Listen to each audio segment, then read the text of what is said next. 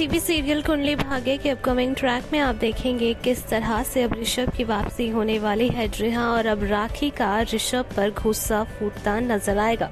जी आपको बता दें, करीना राखी और पूरा लूथरा परिवार ऋषभ को काफ़ी ज़्यादा फटकार लगाता नज़र आएगा क्योंकि सोनाक्षी ने जिस बच्चे को जन्म दिया था, वो करण का नहीं, बल्कि ऋषभ का था। ऐसा अपडेट अब काफ़ी तेज़ी से वायरल हो रहा है। मतलब जब ऋषभ घर आएगा तो आमना सामना होगा करीना और ऋषभ। का और सच खुलता नज़र आएगा पाँच साल पुराना। और करण भी इस बात को कबूलनामा करता नज़र आएगा कि सोनाक्षी ने उसी के बच्चे को जन्म दिया था।